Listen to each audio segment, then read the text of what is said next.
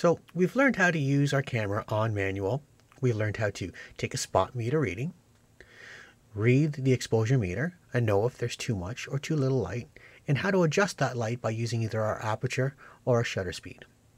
The next thing we need to learn how to do is how to compose the picture, how to take the natural elements around us and compose them into powerful imagery. How do we do that? Well, there's several things that we can look for. The first thing that we should start with is character. If your subject matter is wildlife, the most important aspect you want to pick up when photographing wildlife is its character. Does that animal have a predominant stance that's associated with it? Does it have a predominant look that's associated with it? Markings, color, anything that a person would associate with that animal. Try to capture its personality.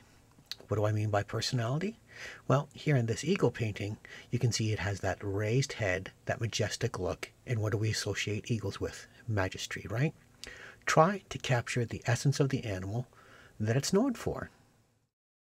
Another way we can capture an animal's character is through its movement, its action, or even its posture. This uh, silver fox, he's got a very cunning look on his face, while sly is definitely a characteristic that we associate with foxes. This black bear is in a very playful uh, posture. We always associate bears with a uh, kind of a ham personality. This is my boy Briggs, and he's a very bubbly, happy, playful dog. And this dynamic, energy filled uh, running pose, this action, carries that dynamic or that youthful exuberance that my dog has. Last is this great blue heron. Whenever we think of a great blue heron, we think of these beautiful, majestic birds with these large wingspans flying over a sunrise or sunset uh, setting.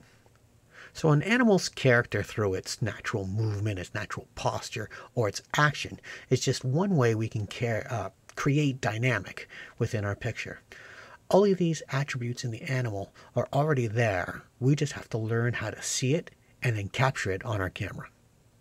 Now, as we're capturing those wonderful characteristics, we don't have to put everything smack dab in the center. Try to change things up and vary up your compositions. Try offsetting your subject matter, in this case wildlife, off to its sides, off to its thirds, off to its lower bottoms, off to its right, left, top, bottom, anything but right in the center. Just try to vary it up and you'll find that your images become a lot more dynamic and have a lot more interest to them.